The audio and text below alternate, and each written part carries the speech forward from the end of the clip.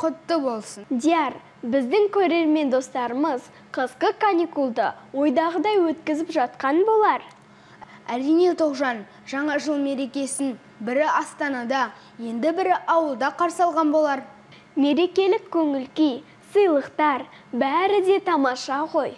Көңіл күй демекші тоғжан дәл қазір темірланның жетістігін көрейік. Ата анасы қуанып қалсын. Әрине достар еркежанға кезек берелік. Эфирде алтын тұяқ.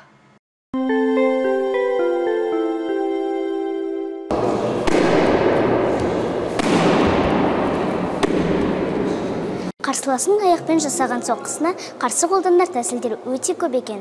Жас спортшы темірланның ақылына құлақ түрейік достар. Темірлан 10 жаста. Дүйсен бабаев атындағы нөмірі 115 мектептің 4 сынып оқушысы. Темірланның бойындағы жақсы қасиет айтқанын міндетті түрде орындайды. Еңбекқор дейді жаттықтырушысы. Оның таэквондомен айналысқанына бір жыл болды. Маған таэквондо ұнайды. Өйткені бұл спортпен шұғылдансаң денсаулығың мықты батыр шымыр боласың. Таэквондо корей халқының ұлттық спортының бір түрі. Спортшының аяғы мен қолы қатар жұмыс істейді. Достар оның атауы да осы адам мүшелеріне қатысты екен. Демек тхе аяқ квон қол. Деген сөз өнер деп аударылады мұстафа өзтүрік атасын үлгі тұтқан темірлан аудандық қалалық жарыстардың жеңімпазы мен өскенде мұстафа өзтүрік ағам сияқты қазақтың атын әлемге танытқым келеді.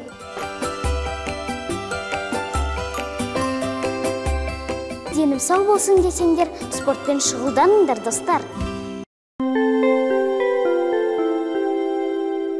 Диар қысқы демалысты уақытыңды тиімді пайдаланып жүрген боларсың. Әрине әжемен көмектесіп қар күреп тағы басқа үй шаруаларымен айналысып жатырмын.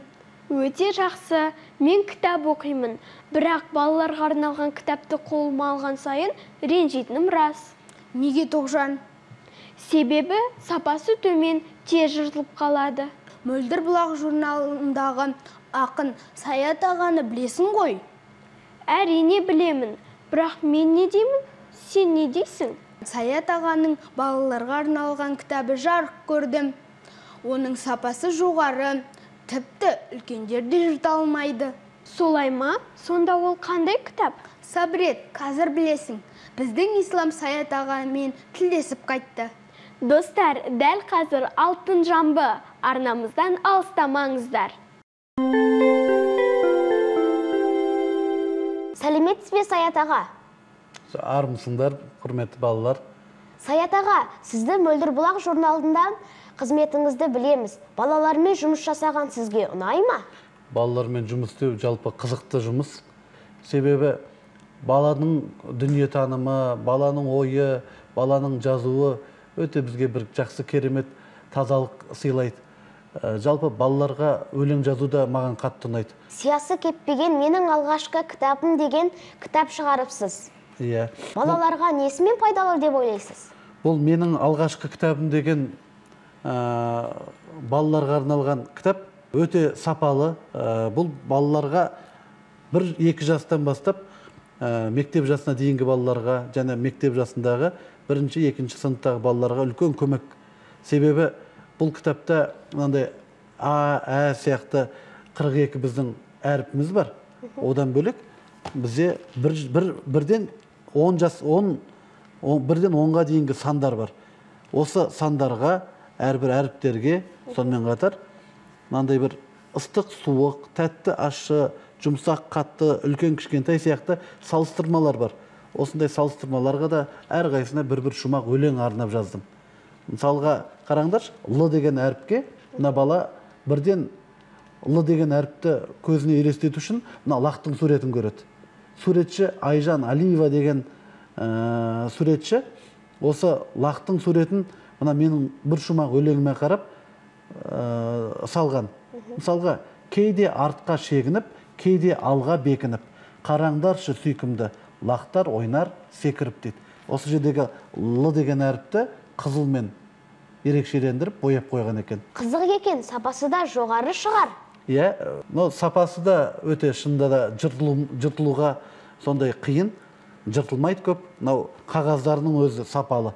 Балаға ә, бұл қанша тартса да бұны қанша жерден жыртам десе де бала жырта алмайды. Себебі бе өзің ұстап көрші.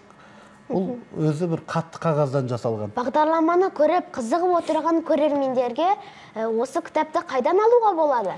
Жалпы өте жақсы сұрақ. Ә, меломан деген дүкендер желісі бар. Ол алматы қаласында да бар бірнеше жерде. Сонымен қатар қазақстанның бірнеше қалаларында бар.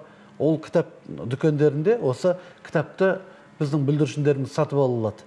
Саят аға мен сізге бір сұрақ қояйын. Жақсылап ойланыңыз. Иә. Қоя ғой дайынбыз. Бір күні әкесі баласына келіп бір кітап береді. Сен осы кітапты оқып шықсаң мен саған 2000 теңге беремін дейді. Сонда баласы әкесіне бір аптадан кейін келіп әке мен кітапты оқыдым енді 2000 теңгемді бересіз бе? дегенде әкесі сен кітапты оқымағансың деп жауап береді. Баласының кітапты оқымағанын әкесі қайдан білген? Кітапты оқымағанын ба баласының демек ол кітаптың ішінде ештеме жазыл, жазылмаған? Жоқ саят аға қателестіңіз. Дұрыс жауабы екі мың теңге кітаптың ішінде болған. Ай бәрекелді. Қандай жақсы. Ақшасы сол кітаптың ішінде болған екен ғой. ал егер бала егер сол кітапты оқып шыққан кезде ақшаны өзі ақ сол жерден алушы еді ғой. Дұрыс айтасың өте жақсы. Орынды. Саят аға сұхбатыңызға көп көп рахмет. Шығармашылық табыс тілеймін. Рахмет құрметті балалар. Өздеріңе де тек қана жеңістер тілеймін жемістер тілеймін. Оқуларыңды жақсы оқуға тілектеспін. Достар сапалы әрі пайдалы кітапты оқуға тырысайық. Кітап білім бұлағы емес пе? Қазақтың 42 әрпіне арналған бірінші кітап болар. Құтты болсын. Бастысы бүлдіршіндер қызыға оқиды. Суреттері де өте әдемі екен.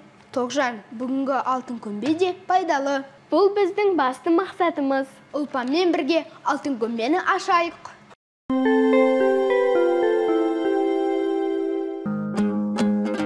Қазақ халқының өмірінде маңызды орын алатын аспапты бәріміз білетін шығармыз. Әрине ол домбыра. Домбыра біздің көнеден келе жатқан асыл мұрамыз. Ол екі ішекті көп пернелі музыкалық аспап. Домбырамен жеке ән сүйемелде күй тартуға болады. Ал соңғы кездері паганини моцарттың шығармалары домбырамен орындалып жүр. Достар домбыраның дауысы сапасы оның құрамына байланысты. Ол дыбыс өткізгіштігі жоғары қарағай дыбыс жаңғырту қасиеті бар. Тұт қатты жынысты үйеңкі емен секілді кел ағаштардан жасалады.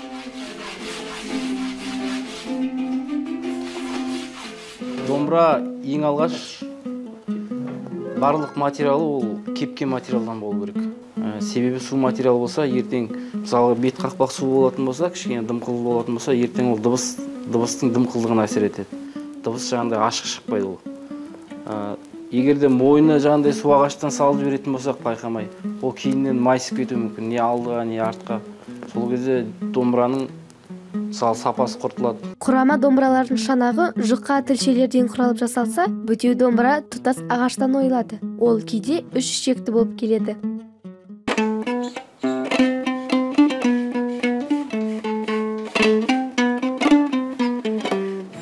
Достар домбыраның құрылысымен таныс болайық.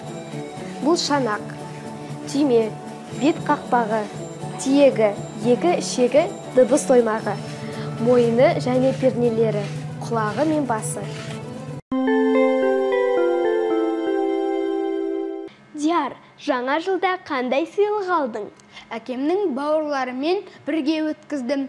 Сағат 12-де аяз атаның келуі бізге тосын сый болды. Ал біздің бекзат жаңа жылдық сыйлығын әлі бере алмай жүр. Бекзат? Неге қалай? Ұялшақ әне өзің көр.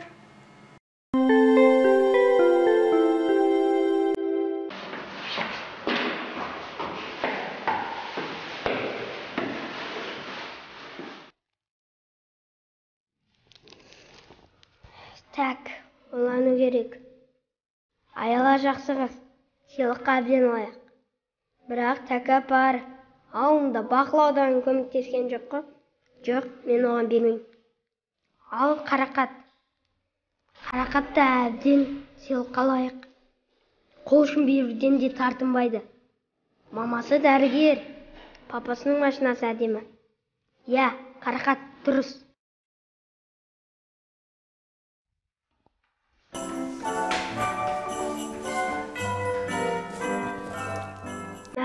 оған не деймін мә сыйлық десем ұят. Ойлану керек. Е бірақ ойланатын түк те жоқ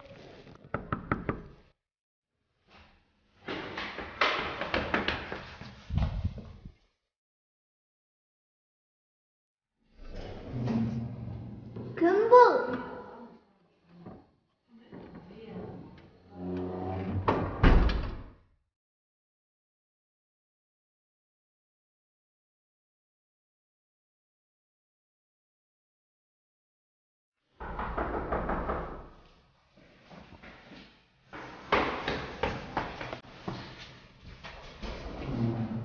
кім бұл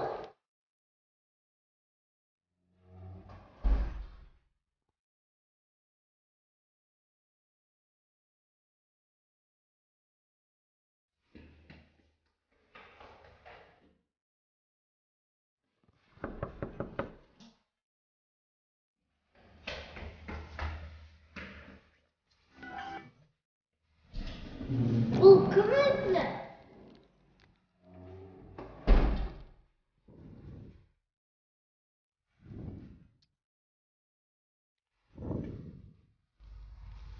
о бекзат не істеп отырсың? О ислам келгенің жақсы болды. Маған көмегің керек еді. Қандай көмек? Жүр кеттік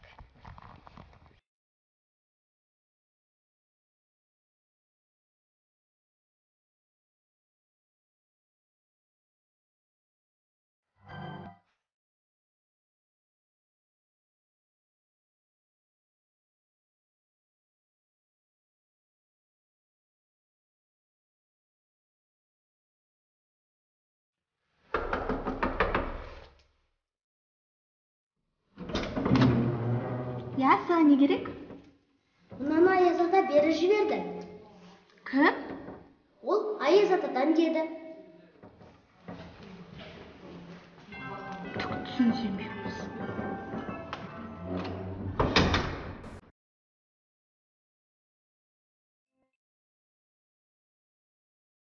қанат жоқ берік шығар. А мүмкін жомарт па екен? Той кімсің сен аяз ата. О сәлем. Сәлем. Қалайсың аяз ата? Қандай аяз ата? Сен емес пе аяз ата? Қызықсың. Қанат емес екен. Енді кім?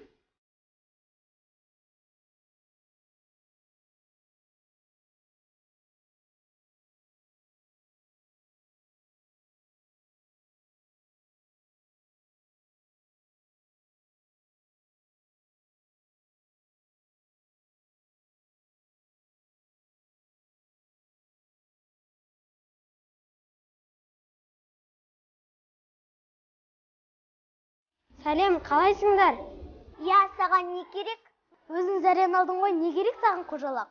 Не ғой не, не бұл мен ғой. Иә сен екеніңді көріп тұрмыз көзіміз бар міне не? Ғой не кешегі аяз ата мен ғой. Аяз ата? Қожалақов сен аяз ата емессің сен аяз баласың былай тұр.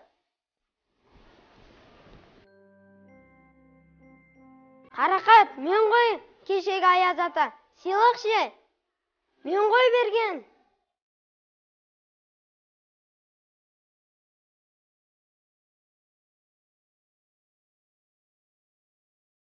Ей ислам сен кешегі сыйлықты бердің ба? Иә бердім. Кімнің атынан дедің? Аяз атаның атынан дедім. Анау қызға бердің ба? Жоқ ана қызға бердім. Ей сен не істегенсің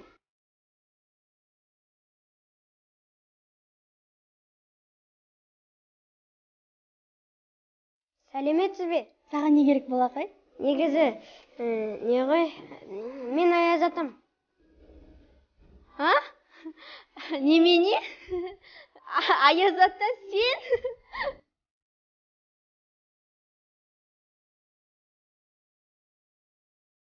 Негізі ол қарақаттың сыйлығы еді. Міне достар бізге берілген уақытта өз мәресіне жетті. Бағдарламамызға қатысып жетістіктерімен бөліскің келсе хабарлас. Ал әзірге келесіде кездескенше дейміз. Сау болыңдар!